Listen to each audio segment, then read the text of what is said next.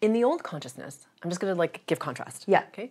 So in the old consciousness, it's really defined by kind of some very low resonating dense distortion patterns and scarcity is one of them Yes. like not like not enough of something right that's the and that's what feeds low self-worth non-deserving not enough not enough not enough and that's based on the illusion of separation the only reason we feel like we're not enough that things are scarce that we have to oppress in order to gain something take Yes. something from someone else so we have something you know greed all that sort of stuff.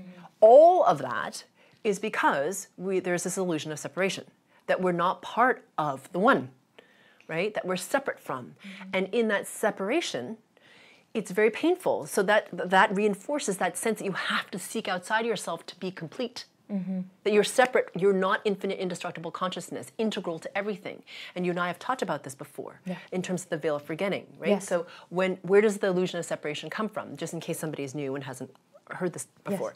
So when you come into embodiment you have to drop in into this vibrational level. So it's a, it's a drop usually in vibrational level into density. Yeah. because don't forget density is only 0.00001% of the all that is. Everything else is not dense. It's disembodied right it, it's it's like ephemeral Energy. yeah exactly it's not solid Yeah. yes it's energy or frequencies or whatever Yeah.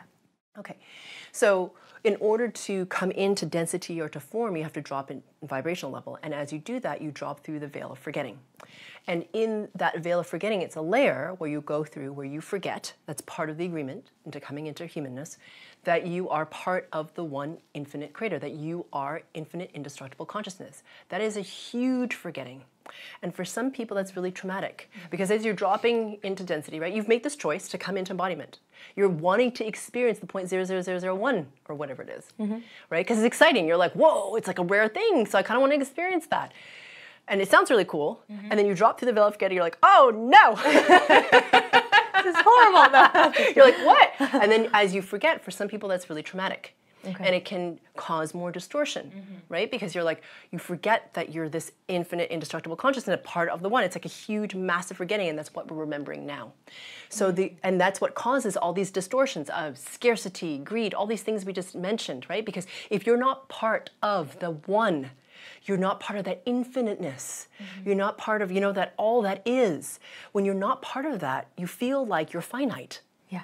right? That there isn't enough, that there is only this physicality, that there is only All this the lifetime. distortions. All the distortions. Come from that. Yeah, a lot of them. So wait a minute. So wait a minute. so people who are born now or soon, mm-hmm. while this new consciousness is here, mm-hmm. what they don't have the veil of forgetting. They don't have No, they still have the veil of forgetting because they wanted to come into humanness. okay, But what- humanness. If you're human, you have You've dropped through the veil of forgetting. Okay.